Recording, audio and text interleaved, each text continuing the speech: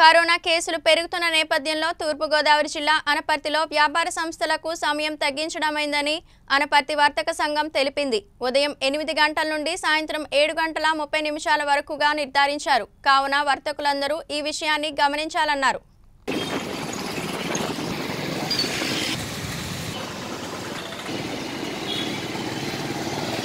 అనపర్తి పుర పుర ప్రజలకు మరియు వ్యాపారస్తులకు విజ్ఞప్తి. ఈ రోజున మా వర్తక సంఘం సమావేశంలో సాయంత్రం ఏడున్నర వరకునే షాపులు తెరవడం జరుగుతుంది.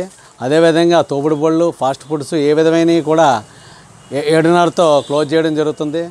అంచేత చుట్టుపక్కల ప్రజలందరూ కూడా గమనించి శానిటైజరు పాటిస్తూ మాస్కులు పాటిస్తూ సహకరించవలసిందిగా కోరుచున్నాం. ఇట్లు వర్తక సంఘం అనపర్తి సత్య వెంకటరామారెడ్డి.